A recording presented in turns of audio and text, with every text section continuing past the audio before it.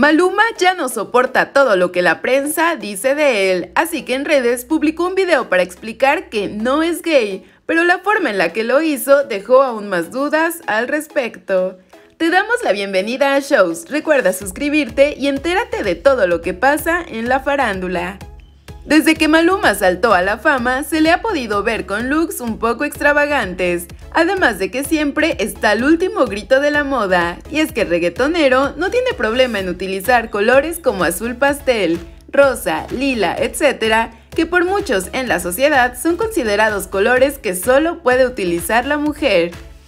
Aunque en la actualidad se ha tratado de diversificar mucho el hecho de que no haya ropa para un solo género, sino que todos puedan utilizar con lo que se sientan bien. Pero no solo han puesto en duda sus preferencias sexuales por el color de su ropa, sino por su forma de hablar o por su forma de sentarse, al menos así lo han expresado muchos fans. Y ante esto, en diversas ocasiones a Maluma lo han tachado de gay y le han pedido que ya salga del closet y que viva su vida plena, y él se había mantenido callado al respecto, pero ahora ya se cansó de no hablar y explotó en redes sociales.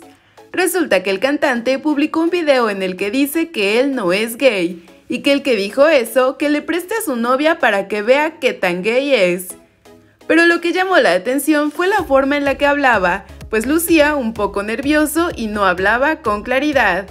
Además, le criticaron el hecho de que publicara su video diciendo que no es gay utilizando una gorra en color rosa. Y es que de ser ese el caso, no sería el primer famoso que trata de ocultarlo por cuestiones de publicidad o por sus managers. Lo cierto es que Maluma hasta ahora ha dicho que es heterosexual.